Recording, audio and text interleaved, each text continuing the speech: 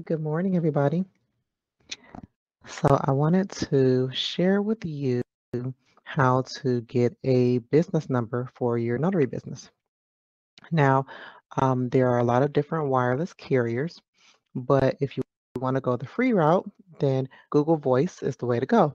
So I'm going to show you, excuse me, how to set that up. So let me go to my browser here. and we're going to go to Google Voice. So pull up a Google window, type in Google.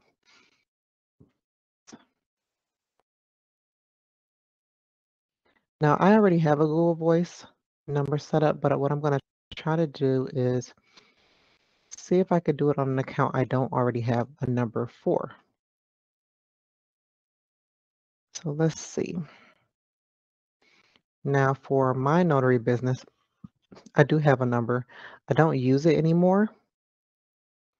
I am currently using mint.com, um, mintmobile.com for my business phone number, which leads me to also let you know you do have to already have a phone number. So for some of us, we just don't want to have to purchase another phone, right?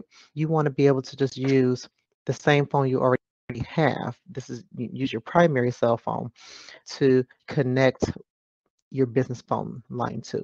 So that's what Google Voice does. Google Voice gives you a free phone number and you are able to link that free phone number to your business cell phone. Okay. Now, I know some people are like, well, how do you know if your business is calling versus a regular number? So when you have the Google Voice phone number, you want to save it in your phone under your business name. Okay.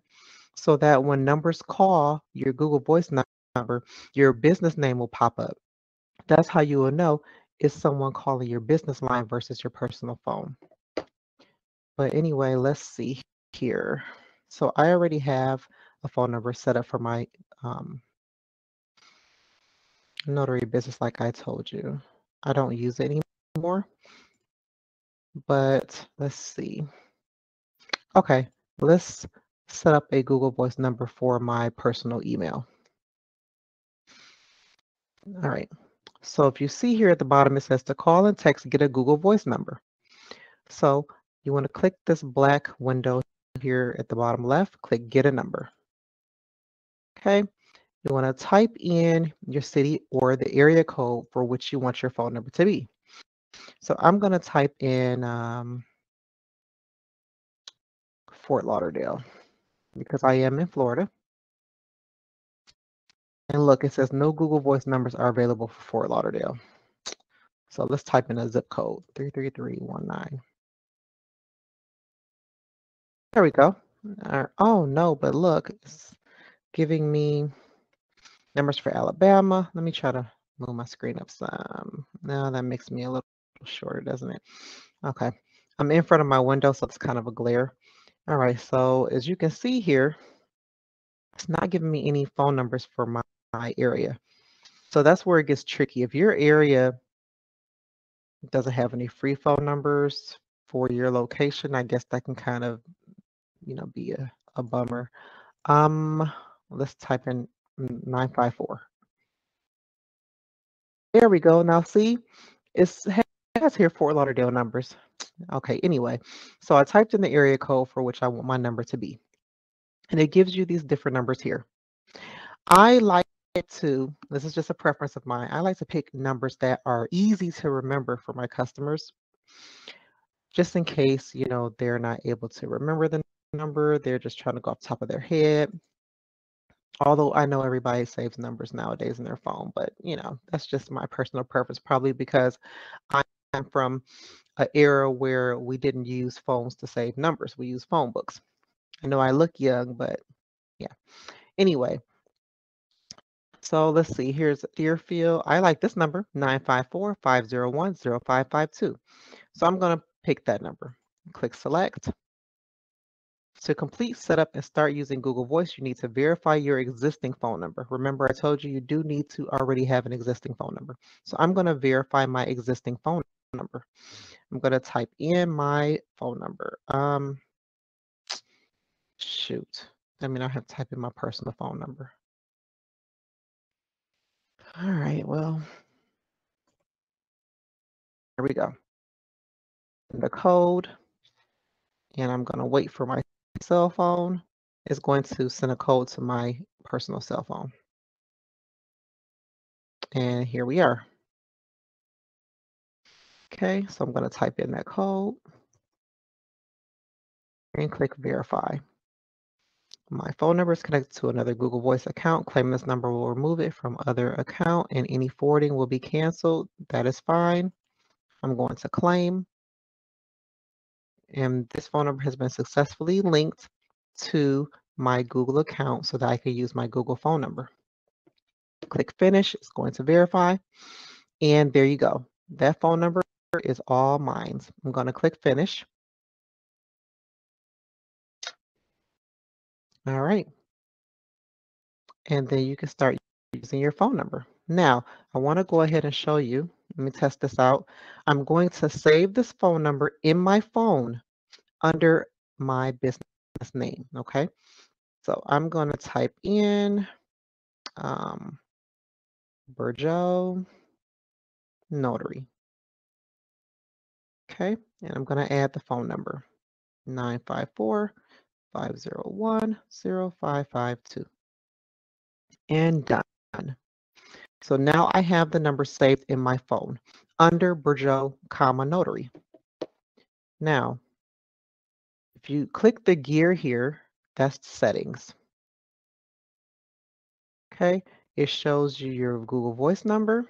If you scroll down, it shows you your personal number is linked to this Google Voice number.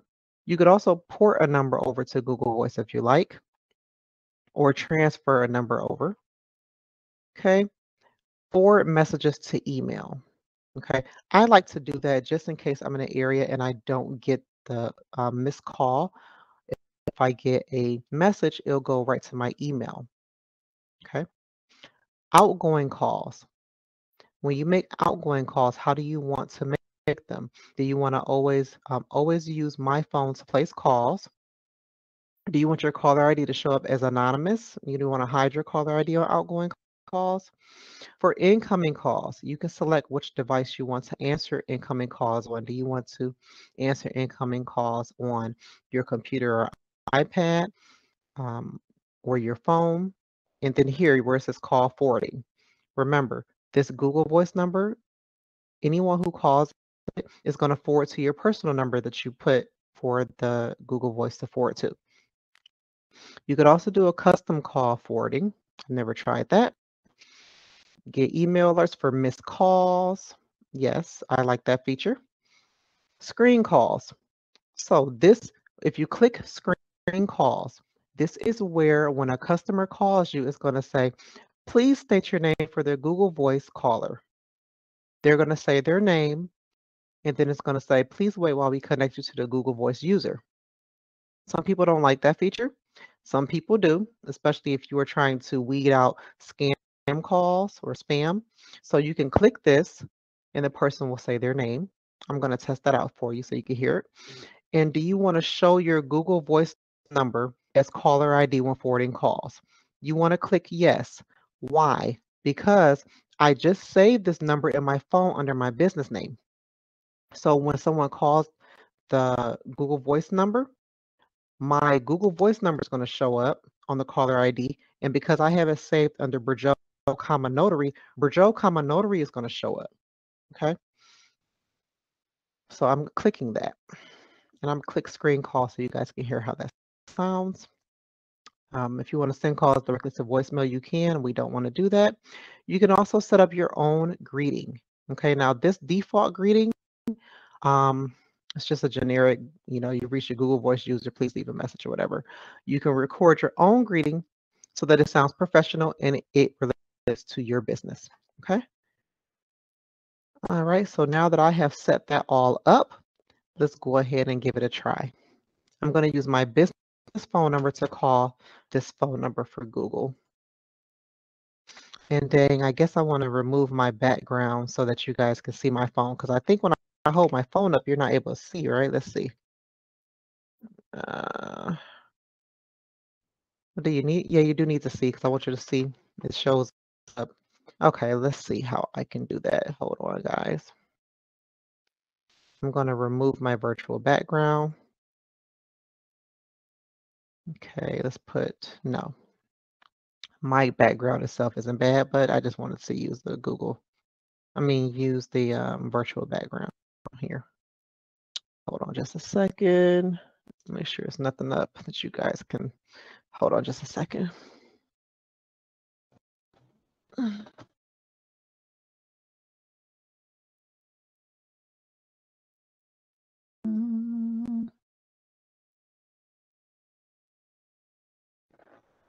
right, there we go. Now, let's go ahead and test this out. Oh, wait, I need the phone number. What is the phone number? Okay, here's the phone number, 954-501-0552. I want you to see what comes up when I call. Uh-oh. Oh, it's calling in on, oh, here we go. You see that? It says Bourgeau Notary.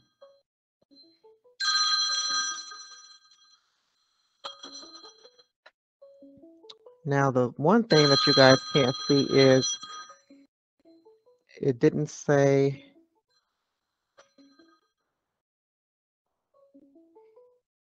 let me end that. So I wanted it to be able to make me say um, my name for the Google caller because I want you to hear how that sounds. And I need to go back to settings because it was ringing in my ear too on the computer. I don't want it to do that. So let's see. Um, go back here. Um, incoming calls. Oh, you have to click web off. I'm going to turn the web off. It's going to go only to my phone. Okay. And I want to screen calls. I want to hear a caller's name when I pick up. Oh, so, okay. All right, so let's try this again, guys. Trial and error.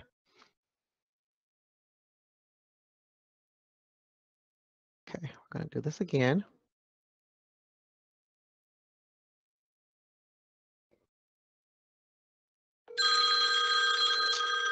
not asking me to do it.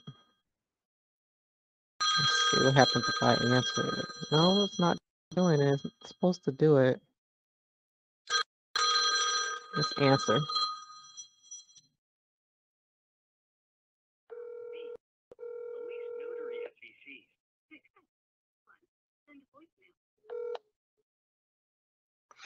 Oh, it already knew who was calling. Okay.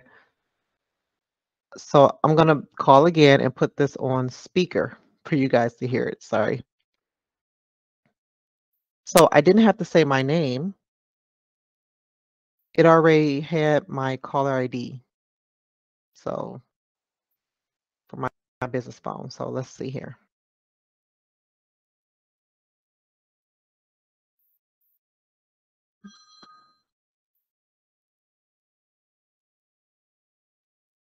Call from B. Elise Notary SVCs. To accept, press 1. To send a voicemail, press 2. Okay, you see how that works? So you can listen to the name of the person who's calling, press 1 to accept the call, or press 2 to send them directly to voicemail. Okay. I like that feature. Some people don't. So if you don't like that feature, just tick the button here and turn screen calls off. That way they would just call you directly. But you do want to keep it on show my Google voice number as caller ID when forwarding calls. So that way you know your business, somebody's calling your business line. Because if you're using your personal phone, people who don't have a caller ID, most people don't answer. And you want to make sure that you're answering, you know, as your business when someone calls your business phone. Like for me, when people call my business phone, I say, hello, you've reached Bourgeau, B. Elise Notary Services. How can I help you? Or hello, you've reached B. Elise Notary Services. This is Bourgeau. How can I help you? Okay. So I don't have Google Voice for, for my business phone anymore. Like I told you, I use Mint. This is a iPhone that I purchased on eBay for $100 or did I pay 120? It was either 100 or $120. It's a um, iPhone SE. I like it and it's unlocked. So I can go with any wireless carrier I want. I'm currently using mintmobile.com if you're interested. I think I shared a referral code. Um, I'll share it in the comments here of this video. If you guys are interested, go ahead and sign up. I get a little money for referring you. And that's it. That is it. And then don't forget to record a custom greeting for your business if you're going to be um, using Google Voice as your business phone.